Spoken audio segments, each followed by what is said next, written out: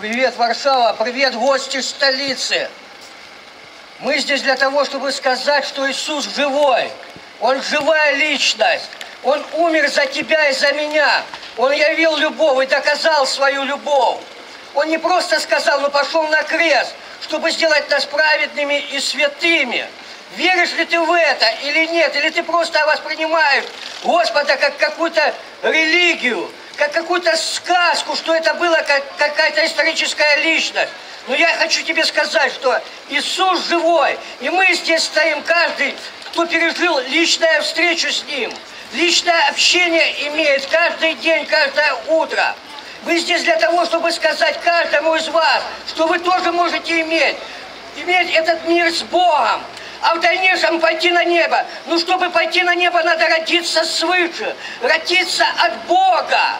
Однажды когда-то один ученик, не ученик, а фарисей, знающий Библию, знающий Тору, на зубок, ну, видя, что Иисус сделал, когда ходил по этой земле, он, видя, какие чудеса он творил, он пришел тайком ночью, потому что знал, что могут его побить или отвергнуть от церкви, отлучить. Он пришел и сказал, Иисус, не только я, но многие из таких, как я, знают, что ты действительно с Богом имеешь это общение. Те дела, которые ты творишь, никто не мог творить раньше.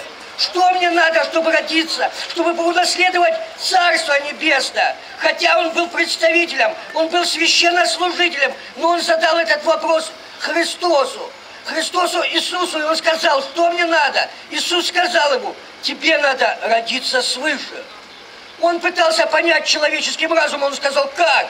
Мне 62 года, как я могу пойти в утробу матери по новой? Он говорит, нет, рожденный от плоти есть плоть, но рожденный от духа есть жизнь вечную, имеет жизнь вечную, рожденный от Бога. И здесь мы для того, чтобы помочь, если ты еще не имеешь рождения свыше, не имеешь этих тесных отношений с Богом, мы здесь для того, чтобы помочь вам пережить эту реальную встречу с Богом, родиться свыше, заново от Бога, чтобы иметь это общение и в дальнейшем пойти на небо.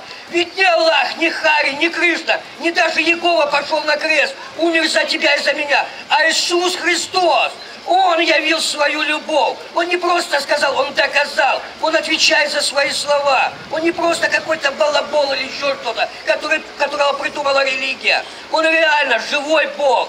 Он живой сейчас. Мы здесь, чтобы сказать вам это. Если кто-то имеет это желание в сердце получить рождение свыше, иметь тоже дерзновение, что имеем мы, чтобы иметь общение в дальнейшем пойти на небо, не быть заблужденным или обманутым. Подходите, мы будем молиться, мы будем общаться с вами. Если кто-то больной, мы будем молиться, чтобы получить исцеление. Бог творит чудеса. Бог исцелил, восстановил мою иммунную систему, я умирал. У меня был ВИЧ, но я возвал к Нему, упал на колени. С детства я знал о Боге только, что можно пить вино, но вино не то. Я не знал, но когда я начал искать, какой Бог сделал чудо первое. В сегодняшнем мире есть слово такое понимание, как сок, по-английски фреш. Ну тогда не было, там написано, он сделал молодое вино, то есть новое вино новое. Я начал падать на колени, я говорил, Господь, восстанови, потому что это неизлечимо. И Бог пришел и восстановил. Меня после того, я, мало того, что я сам с Донецка, там делал э, много раз это бадание, так, у меня все хорошо. Сейчас я счастливый и довольный человек, потому что я имею эти общения с Богом. Я знаю его лично, не просто понаслышкам или как-то, но я знаю его лично. Приходите, мы будем молиться, подходите, меня зовут Женя, Усик Женя мы будем общаться. Я, я знаю, что Бог для вас приготовил нечто лучшее и большее. Аминь.